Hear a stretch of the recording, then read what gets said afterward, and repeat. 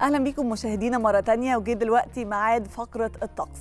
هيئة الأرصاد الجوية بتتوقع إنه النهارده هيكون في استمرار لانخفاض درجات الحرارة والطقس هيكون برد على القاهرة الكبرى والوجه البحري والسواحل الشمالية الغربية وشمال الوجه البحري والسواحل الشمالية الشرقية ووسط سيناء. وهيكون دافي على جنوب سيناء وسلاسل جبال البحر الأحمر وجنوب الصعيد ومائل للبرودة على شمال الصعيد.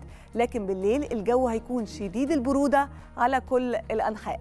قبل ما نستعرض درجات الحرارة مشاهدينا خلونا نطمن على حالة الجو من الدكتورة منار غانم عضو المركز الإعلامي لهيئة الأرصاد الجوية. صباح الخير على حضرتك يا دكتور.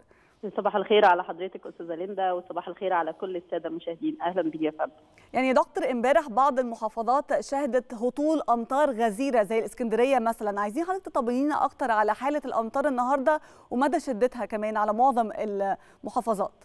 بالفعل يمكن إحنا من الامس بنشهد تقلبات جوية زي سقوط أمطار طبعا وانخفاض في درجات الحرارة لأن إحنا بنتاثر بامتداد منخفض جوي في طبقات الجو العليا على ارتفاع 6 كيلو من سطح الأرض. بيتزامن معه وجود منخفض آخر على سطح البحر المتوسط بيعمل على حالة من التقلبات الجوية. أهمها طبعا تكاثر السحب المنخفضة والمتوسطة على شمال البلاد وكان معاها فرص سقوط أمطار وبالفعل كانت الأمطار كانت متوسطة الغزيرة وكانت رعدية وتساقط معاها حبات البرد بالأمس على الإسكندرية مطروح البحيرة أغلب المحافظات الشمالية.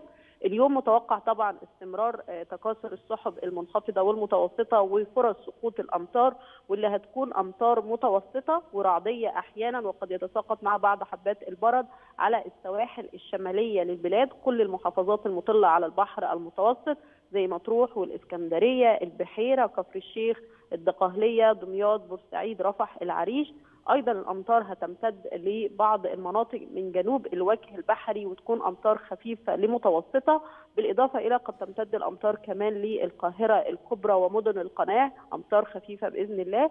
مجمل الأمطار بيبقى على فترات متقطعة من اليوم وبيختلف من منطقة لمنطقة. يعني في منطقة ممكن نشهد فيها كميات أمطار مختلفة عن المنطقة الثانية. بالإضافة إلى أن اليوم كمان مستمر معانا نشاط الرياح اللي سرعاته ما بين ال 40 وال 50 كيلو متر في الساعة. نشاط الرياح ده هيزود إحساسنا أكتر بانخفاض درجات الحرارة وبرودة الطقس بحس بقيم درجات حرارة دايما أقل من اللي إحنا بنقولها بحوالي من درجتين لثلاث درجات. بالإضافة كمان إن هو قد يكون مثير لبعض الرمال والأتربة على شمال وجنوب الصعيد بعض المناطق من سيناء الغردقة بعض المناطق كمان من القاهرة الكبرى خاصة المناطق المكشوفة والأماكن المفتوحة. بالإضافة إن إحنا طبعا لسه مستمرين في انخفاض ملحوظ في درجات الحرارة. الطقس بالفعل خلال فترة النهار هيكون بارد. خلال فترات الليل هيكون شديد البرودة. يمكن يكون قارس البرودة في الساعات المتأخرة من الليل والصباح طب يا دكتور كان في توقف لأعمال الصيد امبارح في محافظات زي كفر الشيخ بسبب سوء الأحوال الجوية. هل هيكون نفس الأمر كمان النهارده؟ هو حركة الملاحة البحرية في البحرين هي معتدلة مضطربة ففي بعض الأماكن بيحصل فيها ارتفاع أمواج فممكن يحصل فيها غلق الأم... طبعا للمواني. ده مستمر معانا اليوم. ارتفاع الأمواج هيكون ما بين الاثنين لإثنين ونص متر على البحرين الأحمر والمتوسط.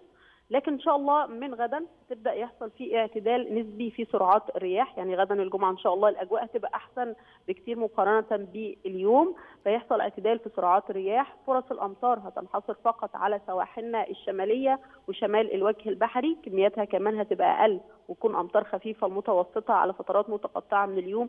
ويمكن نلاحظ غدا زيادة لفترات سطوع أشعة الشمس.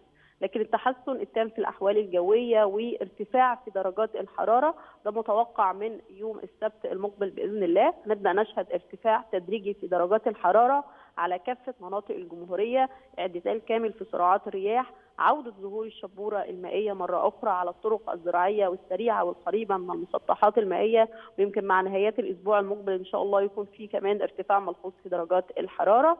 النصيحة المهمة والأساسية إحنا خلال اليومين دولت لسه مستمرين طبعا في ارتداء الملابس الشتوية الثقيلة خلال فترة النهار وخلال فترات الليل.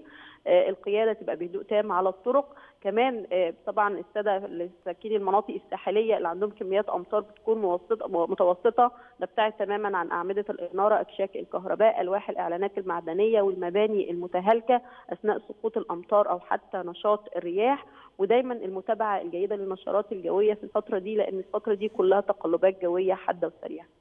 شكرا يا دكتور. مشاهدينا كانت معانا دكتور منار غانم عضو المركز الإعلامي لهيئة الأرصاد الجوية. دلوقتي مشاهدينا خلونا نستعرض مع بعض درجات الحرارة وهنبتديها كالعادة من القاهرة.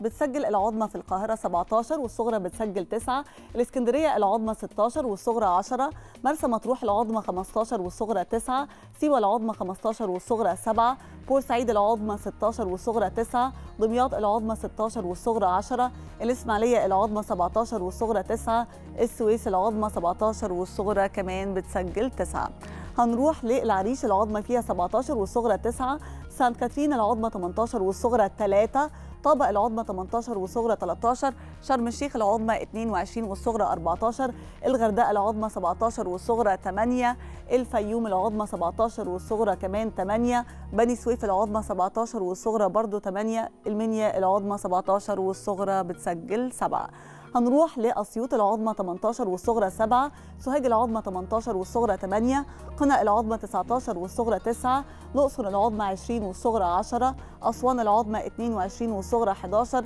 الوادي الجديد العظمى 20 والصغرى 9 شلاتين العظمى 25 والصغرى 13 وأخيرا حلايب العظمى 22 والصغرى بتسجل 14 دي كانت فقرتنا الجوية. مشاهدينا دلوقتي هنرجع لشاذلي وبسنت عشان يكملوا بقية فقرات. صباح الخير يا مصر. إليكم. بنشكرك يا